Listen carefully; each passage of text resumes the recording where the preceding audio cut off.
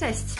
Jak dobrać idealną marynarkę dla siebie? Dzisiaj powiem Ci o trzech rzeczach, które absolutnie musisz wiedzieć, dzięki którym właśnie taką marynarkę dla siebie wybierzesz.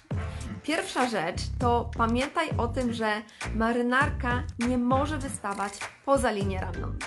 Druga rzecz, pamiętaj o tym, żeby podkreślać swoje kobiece kształty i talie właśnie fasonem marynarki.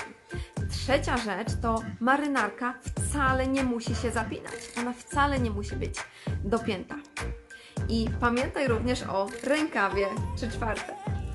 Ale jest jeden wyjątek. Jeśli uwielbiasz styl oversize, to taka marynarka oversize również może być wtedy dla Ciebie większa. W takim przypadku jeden lub o dwa rozmiary. Daj znać w komentarzu, którą wersję dla siebie wybierasz. Czy marynarki oversize, czy idealnie dopasowanej marynarki do Twojej figury. Agnieszka Nortej, kreator zmiany wizerunku.